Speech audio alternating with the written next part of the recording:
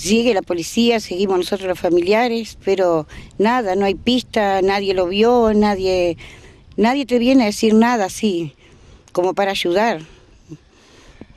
Lo que pasó eh, sorprende. ¿Cómo, ¿Cómo era Carlos? Claro, sorprende porque él era un, un muchacho que iba al trabajo, venía para acá, para casa, siempre así, tranquilo, porque él no conversaba con nadie, no se metía con nadie.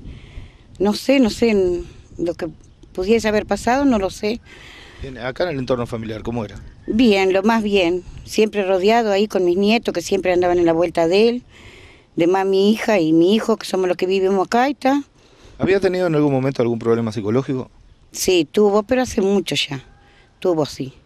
Él tuvo, o sea, psicológico, él salió, se perdió, pero el otro día apareció, andaba caminando. Mm, Pero después de eso que se lo medicó y eso, lo más bien. Sí, nos contaba mm, vos fuera de micrófono que aparte de la rutina cumplía muy buenas funciones allí en, la panadería donde trabajaba, el entorno familiar. eh, ¿Y puede haber incidido también algo en eh, el tema de la desaparición física del propietario de la panadería? ¿Él había quedado mal después de eso? Sí, él sentía, cada vez que hacía mes de, de Luis sentía, porque él era buena persona, siempre lo estaba apoyando. Y Carlito hace muchos años que estaba eh, trabajando ahí con ellos. Mm. ¿Qué creen ustedes que puede haber pasado? ¿Por, por dónde puede andar? ¿Qué, puede, fue, ¿Qué fue lo que fue?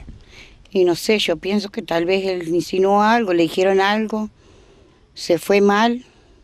Está, no sé, no sé cómo explicarte, no sé. Nos contabas que todavía, bueno, mirabas para el campo que enfrente a tu casa y, y estás esperando que vuelva, ¿no? Sí, todos los días esperando que vuelva, si alguien sabe algo o lo ve, que por favor que dé alguna noticia, porque no es posible que no haya ni una pista ni nada de nada.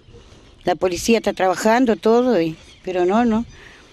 Es un misterio, porque no son tantas cuadras del trabajo acá.